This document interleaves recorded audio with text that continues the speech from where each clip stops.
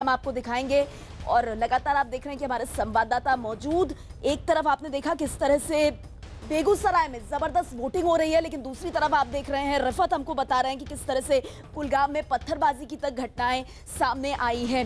रिफत, एक बार जल्दी से मैं आपका रुख करना चाहूँगी। आपकी एक रिपोर्ट हम थोड़ी देर में प्ले आउट करेंगे, लेकिन वोटर तो नहीं निकल रहे, ऊपर से पत्थरबाजी की घटनाएँ जो पूरे मतदान की प्रक्रिया को और मुश्किल बना रही हैं।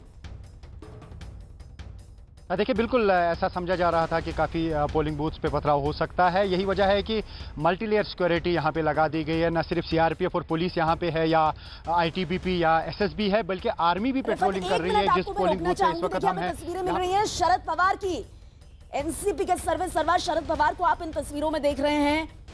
मुंबई में आज छह की छह सीटों पर मतदान हो रहा है। इस बीच हमको शरद पवार दिखाई दे रहे हैं। इन तस्वीरों में हम आपको बता दें, महाराष्ट्र में कांग्रेस और एनसीपी का गठबंधन है और उनको लोहा लेना है बीजेपी शिवसेना के गठबंधन से।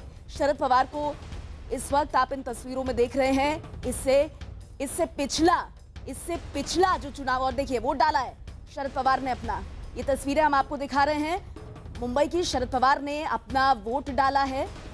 और एनसीपी का मुकाबला एनसीपी कांग्रेस का मुकाबला बीजेपी शिवसेना से है। इस बीच जल्दी से हम जरा रुख करना चाहेंगे।